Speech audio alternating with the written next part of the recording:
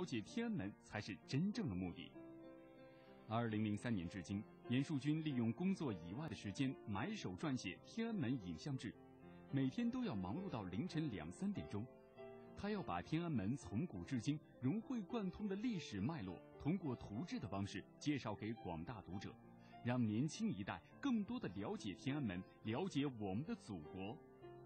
严树军认为，这是他个人为共和国六十年华诞献上的最好礼物。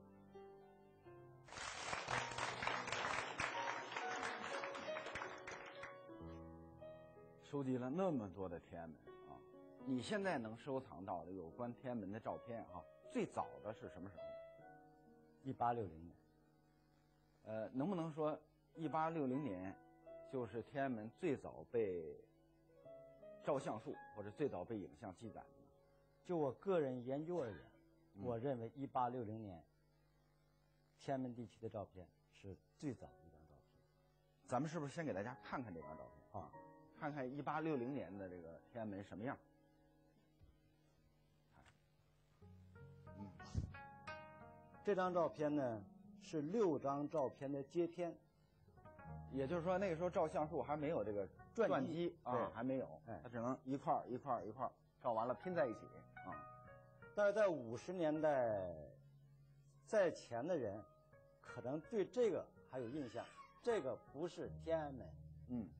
后边这是天安门，嗯，这个在明代，三三座门是吧？不是，明代叫大明门，啊，清代叫大清门，嗯，民国时候叫中华门，啊，五八年建成人民英雄纪念碑之后，五九年扩建广场，这个门消失，这个是谁拍的？能能能研究出来吗？费利斯比托，十九世纪二十年代出生在意大利，后来加入了英国国籍，那么就是为什么说判定他一八六零年？和费利斯比托，第二次鸦鸦片战争期间，英法联军到了北京，来到了北京。费利斯比托作为随军摄影记者，一块儿到了北京。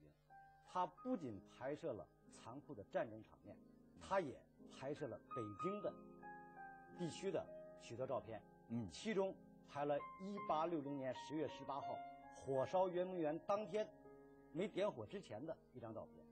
呃，也也就是说，我们可以看到圆明园被烧之前是什么样。对，罗哲文老先生专门从国外蒙博博物馆允许翻拍了一张，给我们留下了一个珍贵的而这张照片，从我自己的判研和中国摄影史的研究，二零零八年九月二十七号，英国国家博物博物馆和中国国家博物馆进行文化交流展的时候。我看到了这张照片，跟我判研是一致。一八六零年啊，他那个展览就告诉你这是菲利斯比托拍的。对，但是他没标具体的年年年代，还不甘心，还要搞清楚一八六零年几月几日。嗯，最后通过多方关系，从国外买了一本菲利斯比托全集。嗯，那么在这张照片上，非常清晰的标记了。一八六零年十月二十四日，看，所以刚才我让你精确到秒嘛，啊，我是在研究中收藏。